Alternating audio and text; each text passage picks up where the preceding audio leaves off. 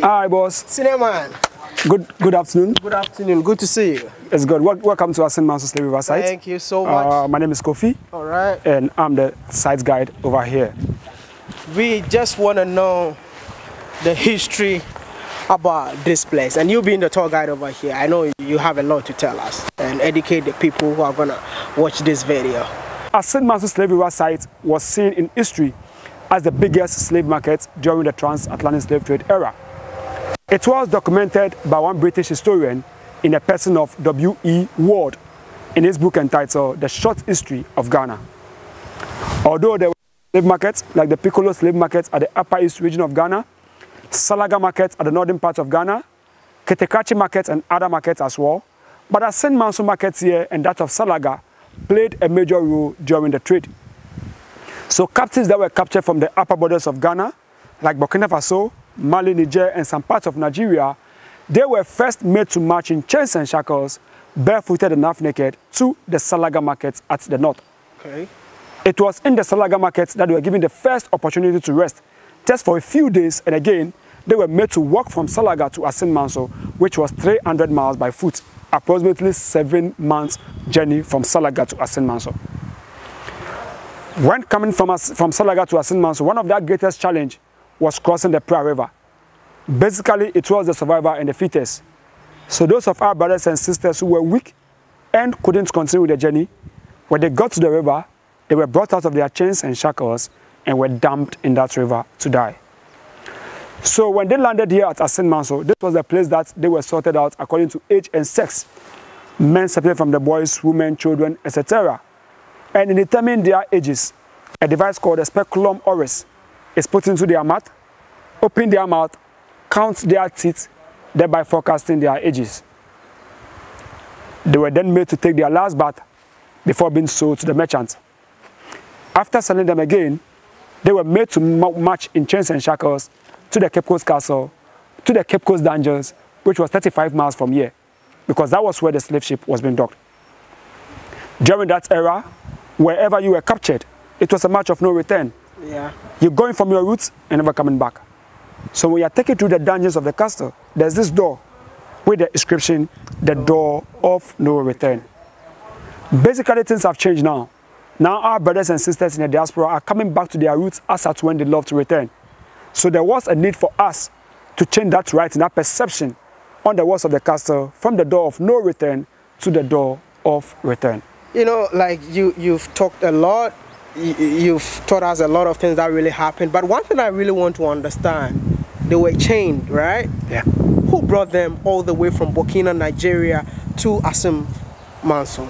So in the slave trade uh, period, I always talk about the post-slavery because both of us contributed in this. We were, we were 70% of the captives were more of prisoners of war. So when I defeat you and I get your I get your your your prisoners for myself, because I'm scared that they are going to live and overcome my kingdom, I just give them out as slaves. So people who gave them as slaves were Africans themselves. Yes, we're having instances where we have Africans and we're having instances where Europeans even kidnap our own people to sell them. We have one, uh, one man from even the Benis, I maybe I'll give you the, the name later, uh, who deceived them to come on a boat Okay. and got them drunk. So before they could open their eyes, they weren't closer and they were just gone. So the Europeans also have a, a scheme of getting these people through kidnap and raiding. But most of us, we also contributed. So in terms of slavery, we always say both of us a contributed. Yeah. I've seen two grave over here. Yeah. What does this symbolize here? So as I was saying earlier on, in changing that name on the walls of the castle that's written, that is why we have these two of our great ancestors here. Samuel Car- Madam Krista from Kingston, Jamaica, and Samuel Carson from New York, US of A.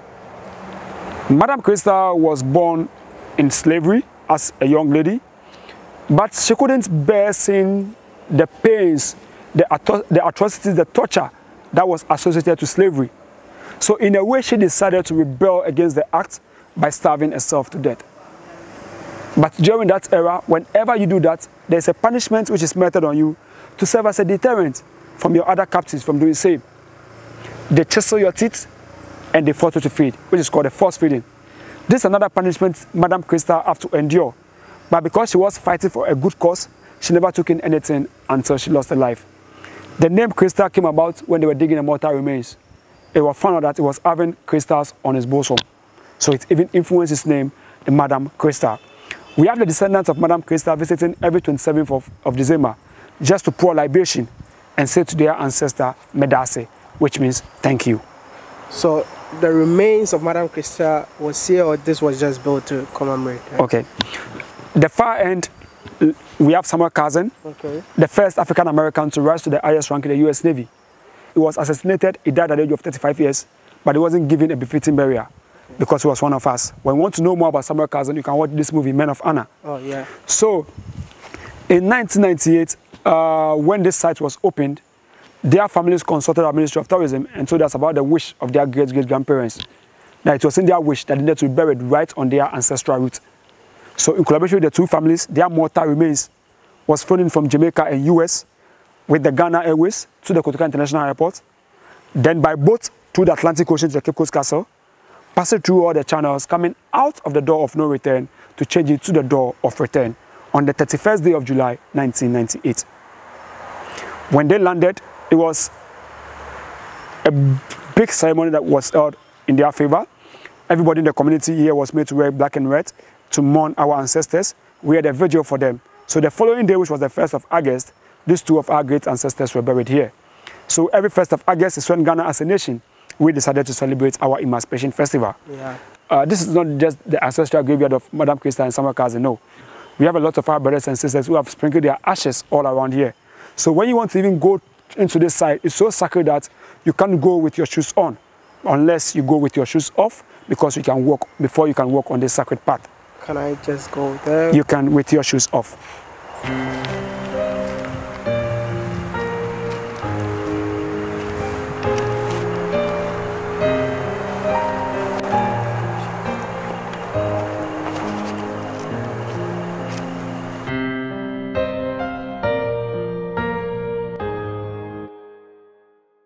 So uh, we have one beautiful plant mm -hmm. called the mimosa plant, okay. uh, which played a role in our history during the era of slavery. This time, mimosa is not, a, it's not a drink in Ghana, it's a plant. So I'll be taking you to the mimosa plant and I'll tell you the role that plant played in our history as Africans. So if you don't mind, please, let's go. I really mind. so I told you about the mimosa plant mm -hmm. and the role that it played. You see, during the era of slavery, some of our people also engage in that. Uh, but majority of us were against it. So those that, those that was, were, was, were against the slavery were also seen as rebels and they were equally targeted. So to avoid them from being captured, they also started hiding in caves and mountains to protect themselves. So at their hideout, they grew some of these plants at the strategically placed positions around the cave. Wow. So these plants inform their decision whether it's safe to come out or not. So early, whenever they want to come out, the leader of the group will peep through the tiny holes around the caves to see whether the plant is as open as we are seeing now. So if it's as open as we are seeing now, then they suspect it is safe, nobody is out, so you can come out and do whatever you feel like doing. Yeah. But when the plant is like this, closed like this, then they realize there's a movement around they don't want to take that risk, so they don't come out. So this plant called the mimosa plant saved a lot of our brothers and sisters during the era of slavery. Now I've changed this name from mimosa uh, to a destiny plant, and it has some important information to share with our Africans in the diaspora, which I'm not going to give it out today, but when you come over to visit Assin Manso, you're going to know more about this mimosa plant. You know what, I have people that they really don't have money to come to Africa, but they would love to know more about their roots, you know. Yeah. So I would love to, like, you know, on behalf, our I will plead on their behalf if you would just share a little bit, not not too much, but a little bit, Let, because I've been getting emails about people telling me, "What am I? I really want to come to Africa, but I just don't have the finance." So please, on behalf of them, Can you just tell us a little bit? Don't go into details. Just one minute. So basically about this plant, I always call it the mimosa, the destiny plant, because okay. it is following us wherever we go as Africans. And uh, when you check, you realize that it is we can find it at almost every part in the Caribbean yeah. and almost some selected sites in the US of A. Okay. So basically, whenever you, you see this plant, mm -hmm. our ancestors will never leave us without giving us traces of where we're coming from. Okay. So whenever you see this plant, it's only telling you one thing, where you belong, which is why they should pray to their ancestors, they will get money to come back to their roots. Wow. That is, that is it. So wow. uh, basically, whenever they see it somewhere, it's just telling them and, and telling them where they're coming from, and that is Africa. So, because this place was the biggest market, mm -hmm. we were having a slave market at the same time the slave camp. Okay. The slave camp was where the captives were made to look attractive before bringing them to the market to be auctioned out. So the slave camp starts right after the ark you see over there, wow. all the way to the river. That serves as a slave camp. And the market starts right in front of this ark, all the way to the township. So that made the biggest market. So as Africans as we are, most often at times when we go into this path, we do it with our shoes off. off. And the reason that we do with our shoes off is because I always talk for myself, Kofi. I always believe that our ancestors were not selfish. Because if they were, through all the pain, the torture that they endured, they could have taken their lives and then there will not be you, there will not be me. Mm. It is at the back of our ancestors that we are alive. Today, we've been, we've been able to make it because of them. We don't even deserve to walk on the same path that they did. But because we are their children, we just, just, just give us the opportunity to walk on the same path that they did. So that tomorrow, when we have the opportunity to say to our brothers and sisters, we will tell them how privileged it was to walk on the same path that our ancestors did. And we will tell them from our hearts, but not from our earths. The second reason why we go with our shoes off is a covenant that you need to fulfill. Yeah. You didn't come here because you have money to come here. No. It is written in your destiny that today you have to come here. Exactly. So whilst coming back to you, you need to, you need to connect with your own land. Mm. How do you connect with your land? It's by walking barefooted. barefooted. So the soil of the of the ground. I, I don't have any problem. Will touch your feet.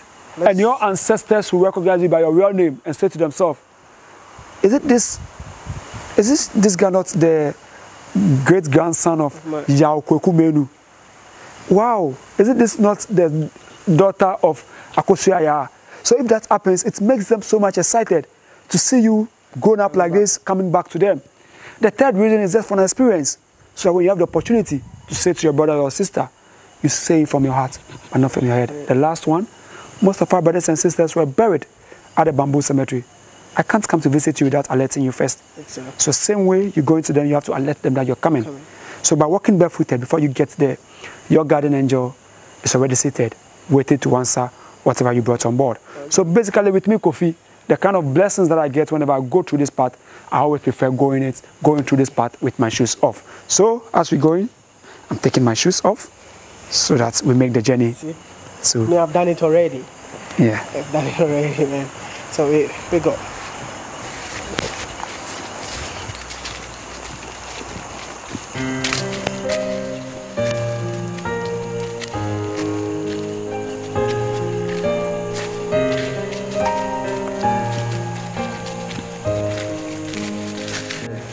Which means that the whole place was bush, right? The whole place, forest, the right? whole place was a forest, it's and a forest. And this part, uh, when we go into this part, is very very serious. Okay. We don't talk. We're very very silent.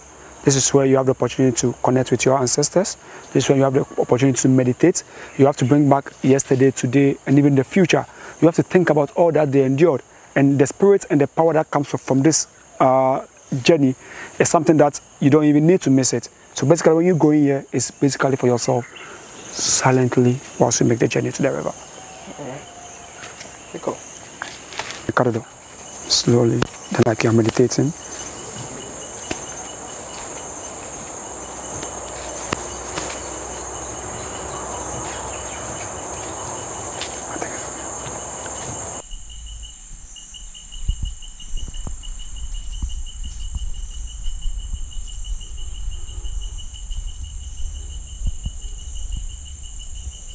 So now as you can see, uh, we've landed in uh, the slave camp. Uh, but this demarcated section that you see around yeah. played a major role during the trade. This was the first auctioning site in the slave camp. This was where the first auctioning and the first branding took place. Now, we're going to go closer to the river And there are a lot that we're going to talk about. So please let's make the journey to the river. As you can see, uh, we have the last bath. Now, this river you see over here, there are two separate rivers. We have one river that is always moving with a gush flow. And we have the other river which is always sleeping. Now, the river that is always moving is called Ama Enisa, which gets its source from the Pra River. Mind you, the Pra River was one of the rivers that our brothers and sisters were dumped in to die. And this is where this one is getting its source from. We have this river also to be known Nonko Insio, which literally means the slave river. Mm. Now, this river is getting its source from the township. This river does not meet. There are two different rivers at their own uh, their own settlement. They don't even meet. Mm -hmm. Now, this they were made to wash themselves in this river, but not in that river because with this river it was always still. Yeah. Uh, last two weeks when you were here, if you could have been here last two weeks, you realize that this river has overflowed its bank and all this place was, was flooded. This one? Yes, it, all this river. It was a big river, but the, when it's up, the only different, different that you see is this place is always still and this place is always moving with, with that intensity. So they made them wash themselves in this river, still in chains and in shackles. So how can you wash yourself while you're in chains and shackles? No. Imagine if the river is up here and you are thrown down there to wash yourself basically you're going to get you're going to be drowned. You know, most of our brothers and sisters were killed in this river because they couldn't uh, survive it when they pushed them in. We have people that were coming from Salaga in the deplorable state. They were seen as so weak and they were killed. We have other people that were very rebellious and they were also seen and killed. No, all those people that were killed were just discarded at this site and we call the place the bamboo cemetery. So all these places that you see are graveyards of our ancestors. We've, we, we dug this graveyard for some time but now we don't want anybody to come over and, and dig it any longer because the chief said for once we should allow our ancestors to rest. to rest in peace. Because I told you all the rituals in this community are performed around this section. Now, in the river, this is because this place was a camp, this was where they were made to look attractive. So they use broken bottles to shave their hair for them to look better. Also, in the river, they cut the bamboo trees that you see over there, the smallest part of it, and they split it open to look like a brush and they use that to scrub them whilst they are in the river. So after scrubbing them, you realize that almost all of them have bruises all over their body with deep cuts with blood oozing out. As we all know, the more you lose this blood, the more weaker you become. With all this, they drag them from the river and their feet develop this footpath. So just in the middle of this section. And they make them go through vigorous exercises in addition, just to determine their strength, because it is believed that with all this blood coming out from you, for you to have been able to perform such an act, that makes you the strongest.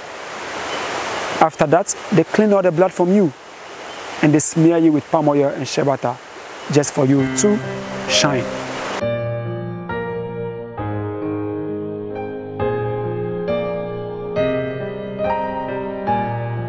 So please uh, come with me.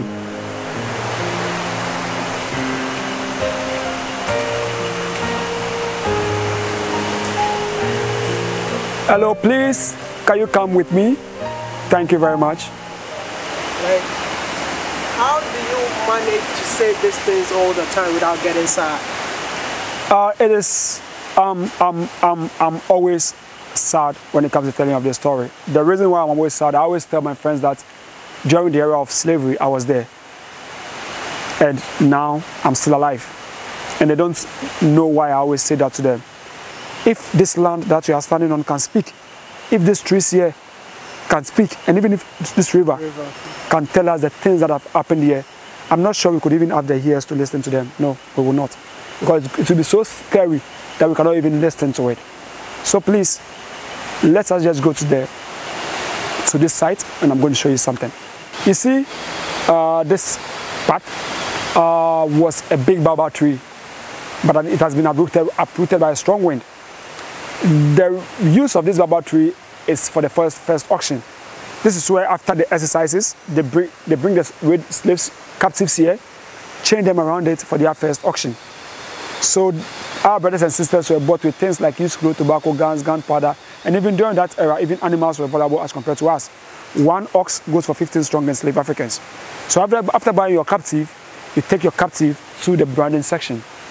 This is where they go to put the metal in fire for it to be very hot, stab it at your back, your chest, or your shoulder as a source of identification. Then after that, those of them that were brought here will be made to march straight to the Cape Coast Castle, which was 35 miles from here. And the ones that were not bought in the camp will be taken to the market to be auctioned out. So in terms of history, this was what really happened here. But this site, as I said earlier on, goes beyond history because we have a lot of rituals that we do. So when you come over, you just have to do these rituals only if you want to or not. There's something I really don't understand in here. I'm seeing first bath of return and then the last bath. What is the difference between the two? Okay, so you see, during the era of slavery, mm -hmm. Uh, the perception out there and the whole thing about it was our brothers and sisters are never going to come back again. So it was like going back and never coming back to your roots. So that is when they were giving their last bath. So when you are giving your last bath, it means your last bath on your soil before you be sold to the Cape Coast Castle, waiting for the slave ship, and off you go. But now things have changed. Now our brothers and sisters have overcome all these things and are coming back to their roots. So with the last bath of return, one of the rituals that we do is to pass behind it and touch the river to symbolize to the world that it's never going to be our, our, our, our last bath. Never because again. there's nothing like last for us. Yes. Everything about us is the first. So from the last bath, we walk through the river and we have, to, we have to come from the first bath of return as a proud African that we can never be killed. There's nothing like last about us and everything about us is the first. So for us, we are not coming for last bath. We are coming for the first battle of return. So uh, it's been, I don't know how to describe. This is not a pleasure meeting yeah. you, but I feel like um, I want to say thank you so much for educating me and also the people out there. I believe that even some Ghanaians don't know that this is the history behind this place. Yeah. And I just want to say thank you for dedicating your time to educate the world about what really happened because still people don't believe that slave trade really existed. existed. Yeah. You understand? So I just want to say thank you so much and stay strong and like thank for real, I'm I don't even know what to say, but I'll try and control it. Yeah. Yeah. Try and control it. So thank you for coming and enjoy your stay in Ghana. Thank you. I'm still a Ghanaian and Ghana is my home and um, I just want to say that whenever you come to Ghana, don't just go to the Cape Coast Castle or Elmina Castle. Make sure you come in here. Just come and find the history in here. Come and experience where your ancestors took their last bath before the, uh, the Atlantic slave trade. Yeah. So it's a boy, Mr. Ghana, baby, and um, I hope you guys. I don't say you're gonna enjoy the episode. I, I know you, most of you did not enjoy it, but um, I hope you learned something new. And I'm gonna see you in the next one. I am Maya.